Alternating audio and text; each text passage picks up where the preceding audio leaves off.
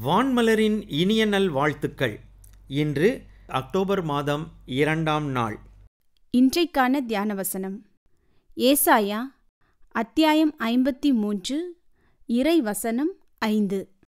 நமது மீறுதல்களின் நிமித்தமே அவர் காயப்பட்டார். நமது அக்கிரமங்களின் நிமித்தமே அவர் நொறுக்கப்பட்டார். நமக்கு சமாதானத்தை விளைவிக்கும் ஆக்கினை அவர் மேல் வந்தது. அவருடைய தழும்புகளால் குணமாக்கப்பட்டோம்.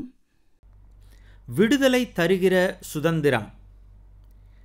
இயேசு என்னை மீட்டுக்கொண்டார். பாவம் பிசாசு மரணம் என்பவை இனி என்னை பயமுறுத்தும் காரியங்கள் அல்ல. கிறிஸ்து இயேசுவின் சிலுவைப்பாடு மரணம் உயிர்த்தெழுதல் எனது பாவ மன்னிப்பிற்கு வழி செய்தது. இயேசுவால் நான் பாவத்திலிருந்து குணமாக்கப்பட்டேன். இந்த குணமாகுதல் அல்லது விடுதலை கிறிஸ்துவில் எனக்கு இலவசமாகவே கிடைத்தது. ஆனாலும் இந்த விடுதலையை சம்பாதிக்க இயேசு கொடுத்ததோ பெரிய விலை. இதை உணர்த்துவதே இன்றைய தியான வசனம். இயேசுவின் காயங்களும் தழும்புகளும் கடவுளின் அன்பை உணர்த்தும் அடையாளங்கள். கர்த்தரின் வார்த்தை மறைக்கப்பட்டிருந்தபோது மார்ட்டின் லுத்தர் மூலம் தேவ வசனத்தை மூடியிருந்த திரையை கடவுளே கிழித்தெறிந்தார். இப்பணியில் லுத்தர் சந்தித்த துன்பங்கள் ஏராளம். மன்னர்களும் திருச்சபை தலைவர்களும் இவரை கொலை செய்ய துடித்தனர். உயிர் பிழைக்கும்படி லுத்தர் வார்த்பர்க் கோட்டையில் மாறு வேடத்தில் வாழ வேண்டி வந்தது. இந்த நினைவுகளெல்லாம் நாம் பெற்ற கடவுளின் இலவச ரட்சிப்பை நினைவுபடுத்துகின்றது. இந்தியர்களான நாம் அனுபவிக்கும் சுதந்திரம் நமக்கு இலவசமாகத்தான் கிடைத்திருக்கிறது. ஆனால் இதற்காக எத்தனை பேர் தங்கள் இன்னுயிரை உடைமைகளை இழந்தனர் என்பதை நினைக்கிறோமா? இதில் முதன்மையானவர் காந்தியடிகள்.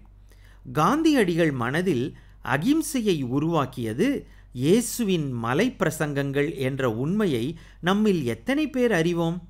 இன்று இயேசு வழங்கும் கிருபையின் விடுதலைக்கும் இதற்கும் ஏதோ ஒரு வகையில் தொடர்பு இருக்கிறது என்று நான் நினைக்கிறேன். காந்தி ஜெயந்தி நாளில் இந்த சிந்தனை என் உள்ளத்தை நெகிழச் செய்கிறது.